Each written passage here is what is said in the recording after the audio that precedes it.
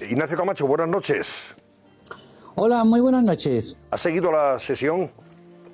Mm, sí, no entera, pero he seguido algo, sí. Bueno, dos pues... no se pelean si uno no quiere y dos no pactan si uno no quiere. Claro. Y sobre todo cuando uno no llama al otro. Y si uno, que es el que tiene que llamar, no llama, eh, para decir, oye, vamos a hablar serio, largo y tendido sobre esto, porque es muy difícil, es muy difícil así que se puede acordar absolutamente nada. Pero bueno, vamos, vamos al caso del asunto de las víctimas, el alcance real de la pandemia, que antes hemos comentado con Vicente y con Fátima. Fíjate que el presidente del gobierno sabe cuántas personas ha salvado, pero no sabe cuántas han fallecido. Mm, resulta cuanto menos paradójico lo que resulta es una falta de respeto, una falta de respeto a los muertos. La cifra de los 450.000 salvados, digamos vidas salvadas, de la que el presidente Blasona, sale de un estudio a escala europea, pero un estudio contrafactual. Hizo, publicó una revista científica que se llama Nature. Pero claro, mm, es, es un estudio, de, es una proyección contrafactual. Si nos ponemos en, en, en, la, política o en el cálculo contrafactual, podemos hablar de otra cosa, podemos hablar de cuántas vidas, de cuántas vidas se perdieron por la tardanza en intervenir en el confinamiento o de cuántos contagios se produjeron por esa misma tardanza o, por ejemplo, por la falta de protección, por la falta de previsión y por la falta de protección de los, de profesionales eh, sanitarios.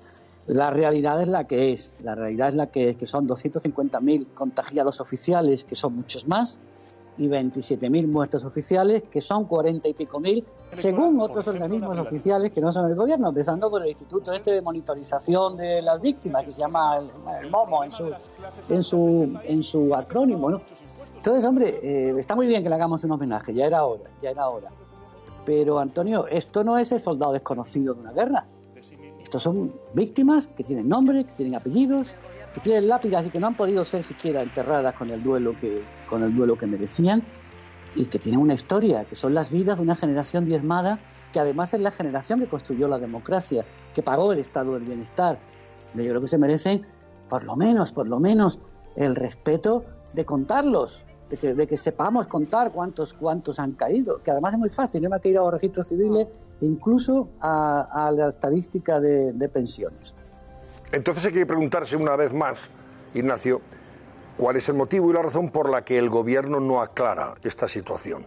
¿Por qué se niega a dar la cifra real de fallecidos? Porque de la misma forma que es capaz de decir, a propósito de ese informe, sea más o menos creíble, que ha salvado 450.000 vidas, es mucho más fácil decir las personas que han muerto porque hay datos, hay datos reales en los perdón, en los registros, en las propias funerarias, eh, el Instituto Nacional de Estadística, etc., etc. Todo eso se ha, se ha visto. ¿Por qué se niega el gobierno a admitir ese dato? Pues por dos razones. Una, por el caos que tiene Sanidad con sus propios datos y con los datos que les reportan las autonomías, que por cierto siguen reportando datos de muertos, muy, poquitos afortunadamente, ahora es un goteo, y no se incorporan desde hace, me parece que desde el día 8 de, junio, no se incorporan a la contabilidad, porque están, digamos, peinando la, contabilidad, desbrozando el propio caos que han tenido durante los meses anteriores. ¿Y a qué se debía ese caos? Pues fundamentalmente, aparte que es verdad que las autonomías tenían diferentes sistemas de cómputo, pero sobre todo, Antonio, a qué no se ha contabilizado a los que morían fue sin diagnóstico. Y como sobre todo en, el mes crudo, entre, el 14 de marzo y la semana de Pascua, más o menos, que fue lo peor, incluso hasta mediados de abril, no había test y no se les hacían pruebas de detección, no podían estar confirmados. Incluso a muchos, recordadlo, al principio de la pandemia no se les admitía en los hospitales, se les decía vaya usted a casa y tome paracetamol y aguante los síntomas, ya cuando tenga usted disnea y, ah, problemas respiratorios agudos, entonces venga a ver si atendemos. Claro, muchos se murieron en medio, muchos se murieron en ese camino, ¿eh? Mm. Y de ahí sale una diferencia, pero claro, eh, mira, el, periódico ABC de Sevilla publicó a lo largo de hace unas cuantas semanas un estudio no de la mortalidad comparada con el año pasado, sino de la mortalidad de la primavera, de la primavera en el último siglo y desde la pandemia de, 2000, de, perdón, de 1918, la de la famosa gripe española, no ha habido en España una mortalidad tan intensa en los meses de primavera, ojo lo que voy a decir, ni siquiera en la guerra civil. Aunque es verdad que la guerra, que, el cómputo de las víctimas de la guerra es muy borroso, es muy borroso. Quiero decir que es evidente que hay muchos más fallecidos de los que, de los que se computa en esa contabilidad oficial, que es el que murió en el hospital con tratamiento de coronavirus. Los que morían, los, que, los enfermos COVID, como, llamaban en los, como llaman en los hospitales, los, que están en la planta COVID o en la UCI. Pero hay muchos más que cuesta reconocerlo, pues cuesta saber, admitir que al principio no se hacían test porque no los tenían, no los tenían porque no había previsión de tenerlos. Claro.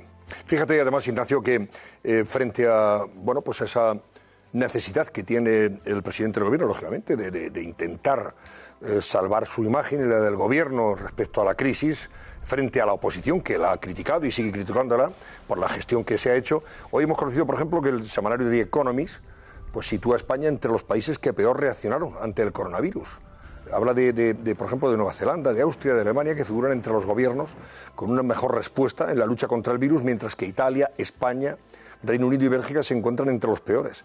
Según el índice elaborado por la Unidad de Inteligencia de The Economist, con 21 países de la OCDE, ¿eh? junto a Nueva Zelanda con una puntuación de 3,6, Austria y Alemania, se sitúan en el grupo de cabeza otras eh, naciones, eh, como por ejemplo Australia, Dinamarca, Islandia, Israel y Noruega. Y en el furgón de cola pues figuramos, pues eso, Bélgica, Italia, España y Reino Unido fundamentalmente. Los países que peor han gestionado sus gobiernos esta crisis. Tú ya has escrito, por cierto, sobre este particular, pero claro, a veces hay que repetir las cosas para enterarnos de lo que, de lo que pasa. Sí, mm, efectivamente no fuimos los únicos que reaccionamos tarde. Yo quiero aclarar una cosa, es decir, el gobierno no ha matado a la gente, no es responsable de las muertes. Pero puede tener una responsabilidad en que haya habido más víctimas de las que se podían, de las que se podían haber evitado. Sánchez dice las que salvamos con el confinamiento, sí, pero también las que se, hay que habría que contar entonces las que se pudieron haber evitado de haber actuado solamente 15 días antes, 10 días antes, una semana antes cuando ya existían evidencias.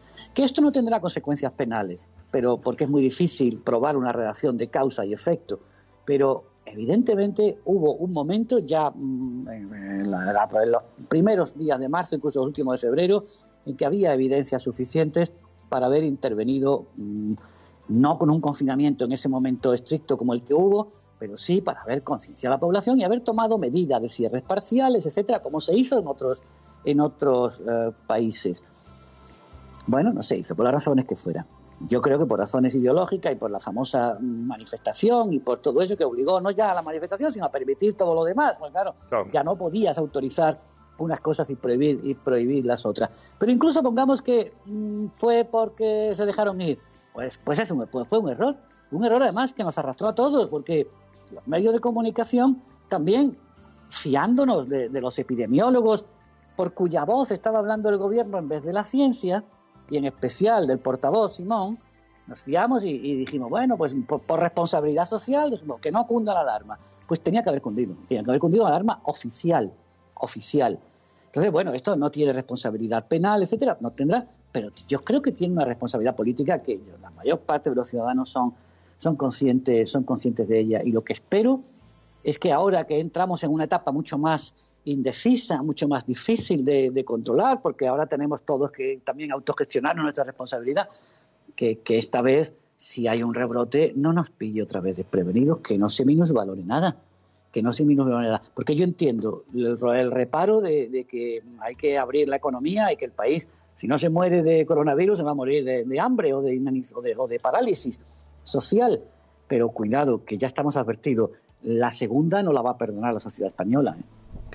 A ver, Fátima, quería comentar algo antes de ir a la publicidad, o no sé, Vicente, también sobre todo esto que hablamos con Ignacio Camacho. Hola, Ignacio, muy buenas noches. Hola, Fátima. ¿Qué tal estás? Mira, yo, em, respecto a la cifra total de, muertos, em, el caos que has relatado fantásticamente bien, evidentemente podía ser la razón eh, por la que no se conocían los muertos eh, o no se sumaban en los primeros meses de la pandemia cuando efectivamente existía un tremendo caos, pero sabemos que los muertos se siguen produciendo y, bueno, la cifra sigue clavada. Yo creo, por lo que a mí me dicen, que hay un motivo más y es esa guerra país en la que ha entrado España y en la que están eh, más países de la Unión Europea de no quedar como los campeones de la pandemia. Y a ese carro, no solamente, y no trato de justificar lo injustificable, eh, pero trato de, poner en contexto algunas cosas. Para ese carro se han sumado muchos países. Por supuesto, empezando por China, que nunca dio los datos de muertos, pero terminando siguiendo por Francia, que solo contabilizaba a los muertos en los hospitales, por Italia, que no contabilizaba a los que no eran detectados por los test. Eh, incluso, fíjate, Alemania, que con un índice de contagiados y de muertos de solamente el 0,79%, se ha puesto en cuestión también el número total de muertos. Yo creo que esto es una guerra en la que han entrado todos los países europeos que no quieren quedar como los más peligrosos o los más deficientes sanitariamente. El problema es que esto tiene las patas muy cortas, porque tarde o temprano se termina conociendo. Efectivamente, hay un Instituto Nacional de Estadística, efectivamente, hay un Instituto Carlos III, un registro de las empresas funerarias y al final se termina conociendo. Pero para cuando lo conozcamos, a lo mejor lo que nos importa más son los datos del paro, para desgracia de las familias de los 40.000 muertos. Y ya no es tan importante el número de parados. Pero yo creo que esto es una guerra país también, en la que em, hay más países implicados. Sí, es verdad, hay maquillaje, el maquillaje es bastante, es bastante generalizado. Y tú hablabas de China. El problema de China no es que haya ocultado a los muertos, el problema de China es que ocultó el virus durante un mes y medio. Ese es el gran problema, pero el gran, problema de China y el gran problema nuestro, porque la epidemia se expandió porque China lo ocultó durante como mínimo 23 días, 23 días, en los cuales eh, está incluido eh, la dispersión de la población china por el año nuevo de, ellos, que se celebraba y que es una fecha de viaje generalizado. Se expandieron. China ha hecho ocultación de Estado. Esto que está haciendo España y probablemente, como tú dices, otros países europeos, también es ocultación de Estado. Ah. De menor escala, pero ocultación de Estado, sin duda. Y lo que tú dices, muy importante no quedar ahí, no quedar en la cola, el farolillo rojo y tal. Y, yo creo que además al gobierno la cifra de los 30.000 como que le impone mucho, porque es una cifra simbólica. Es esto del relato que siempre hablamos, del, relato, 27.000 muestran lo mismo que 30.000. Pero es que, es que ya vamos por 40.000 en las estadísticas alternativas, alternativas oficiales, insisto, tú acabas de decir, el Instituto Carlos III, el MOMO, Instituto de Estadística, y los registros civiles. Y los registros civiles. Porque luego, claro, es decir, podemos contabilizar solo coronavirus, COVID. COVID diagnosticado o no diagnosticado. Pero cuando yo hablaba antes de la cifra de mortalidad de la primavera, no me estaba refiriendo solo a, a COVID, me estaba refiriendo a patologías asociadas no tratadas porque los hospitales mm, mm, tuvieron que, parar todo el tratamiento ordinario de enfermos, salvo los oncológicos graves, eh, y toda, digamos, lo que podría ser una mortalidad asociada porque el sistema sanitario colapsó. ¿eh? Es decir, que pero, pero por honestidad política, ¿qué trabajo cuesta? Por honestidad, no política ya, por honestidad moral, simple y sencilla, ¿qué trabajo cuesta admitirlo? Que es lo mínimo que le debemos a toda esa generación que ha muerto en condiciones terroríficas, terroríficas, de soledad, de desamparo, en algunos casos además, mm, vamos a decirlo suavemente, eh, víctimas de una, de, una medicina de catástrofe que obligaba a elegir entre expectativas de vida, ¿eh? que ha ocurrido, que ha ocurrido y sabemos que ha ocurrido, y eso sí podría tener responsabilidades penales en el caso que se puedan depurar. Y hombre, que menos, que menos que ponerle nombres y apellidos. Mm. Cuando New York Times publicó la, lista de, de, víctimas en la portada, publicó la portada y las páginas interiores, pero podéis imaginar la de páginas que ocupaban. Estaban los nombres y los apellidos. Y nosotros no los tenemos. tenemos parciales. Pero no tenemos la lista de, de, esa generación, porque además la mayoría son mayores de 65, de 70 años, a la que le debemos, sin la generación de nuestros abuelos, de nuestros padres, lo decía yo antes, la que ha construido y pagado la democracia y el estado del bienestar. Que menos que antes de homenajearlos, en, que está muy bien que los homenajeemos. Bueno, pues Ignacio, gracias, buenas noches y hasta la semana que viene. Ignacio Camacho. Un placer, buenas noches, como siempre.